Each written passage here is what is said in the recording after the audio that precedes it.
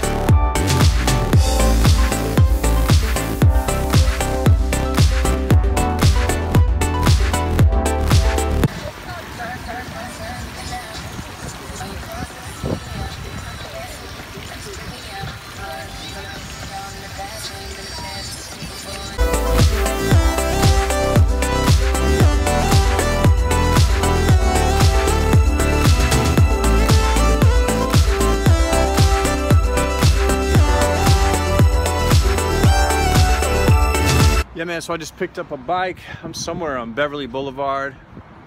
This little bike shop called um, I Martin Bicycles behind me. The only reason I picked it is this little tan building right there. The only reason I picked it, no big deal, it was the only one that was open. And I wanted a bike today. I'm an impulse guy and I wanted one right now. And so I got it. Now I'm gonna cruise home. Try to remember how the hell to get there.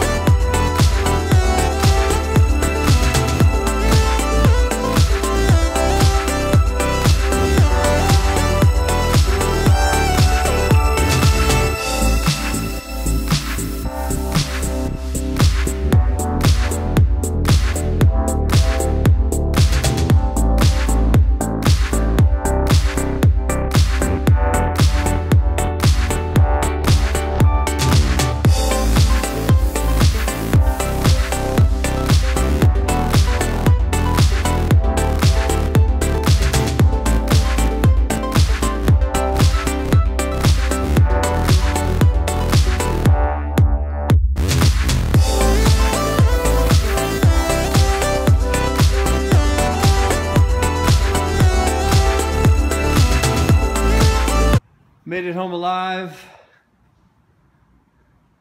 on the new bike of death. There it is. Ran pretty good, but it's only got one, there's no gears. So it's uh, not an easy rider. But man, it feels good. Got a lot of exercise. I'm like breathing heavy, but check it out. Fits right in, man. Boom.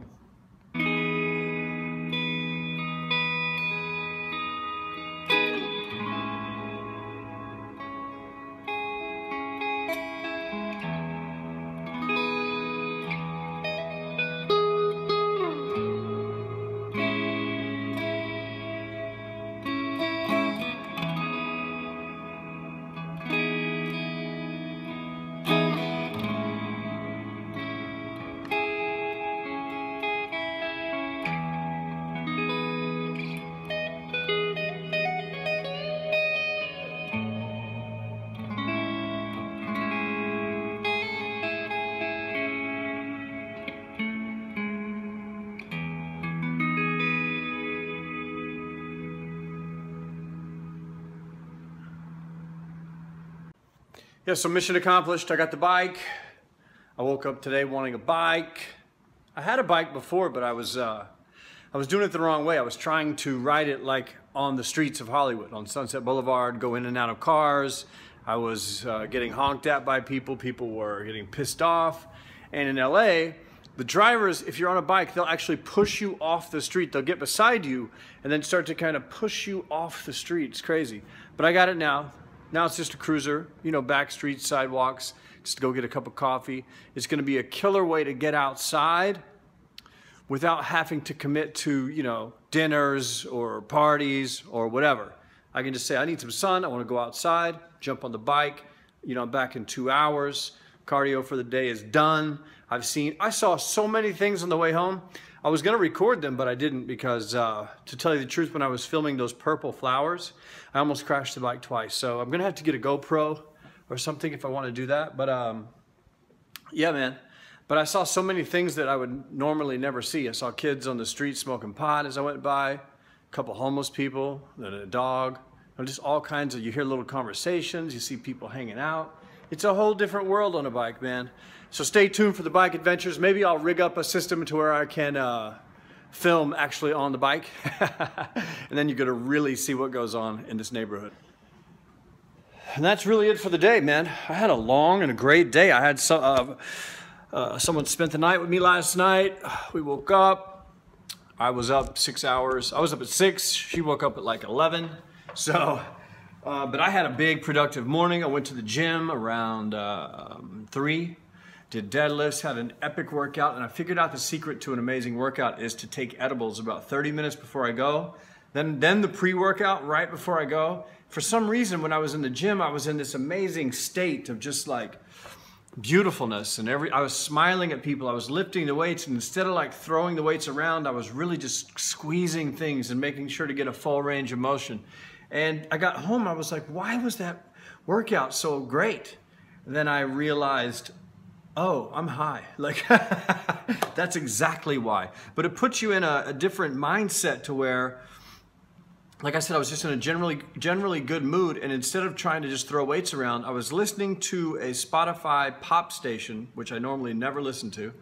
And I was just, I had the most like uh, focused, and nice workout that I've had in a long time. And it was interesting, really cool. So I'm gonna try that from now on. It's actually something I stole from a guy named Kane Sumabat, Sumap, Samabat, something like that, Sumabat.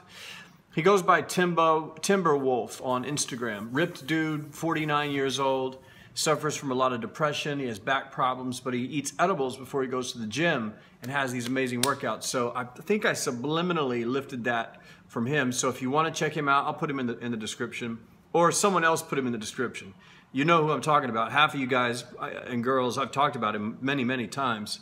Uh, Kane Samabat, Instagram slash Timberwolf or Timbo Wolf, something like that. Hopefully someone will post that in the comments or I'll put it in the description because he is a unique, I love the guy because he's not a boring, generic copy of every other Instagram fitness person there is. He's not like posting his abs with, you know, bullshit.